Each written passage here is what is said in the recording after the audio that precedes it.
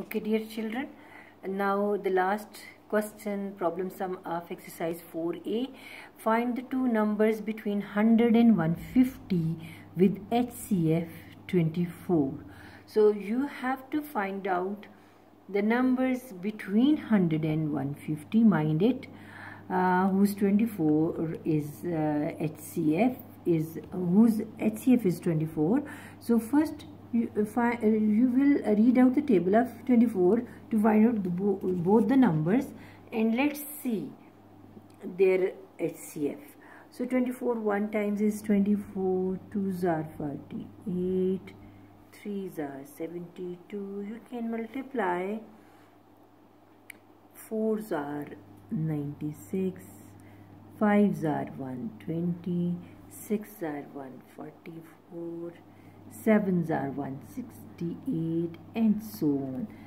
I stop the multiplication uh, for to finding out the multiples more multiples because the question is saying that between 100 and 150 so 168 is the greater number. I find two numbers between 100 and 150 they are 120 and 144 so let's see their HCF if it is 24 or not.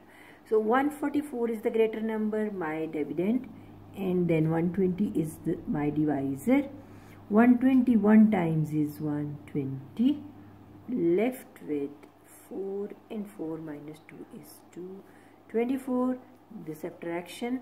Now the next dividend is 120 the first divisor 24 do this rough work 24 5 times gives me 5 4s are 22 carry 5 2 is 10 11 12 1 20 so 5 times is 120 it means these two numbers has got the HCF 24 so the two numbers are 120 and 144 are the two numbers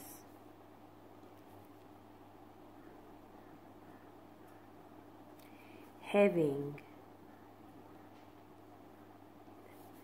24 as their HCF.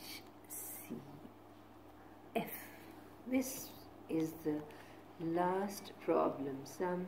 So all the three problem sums are very important.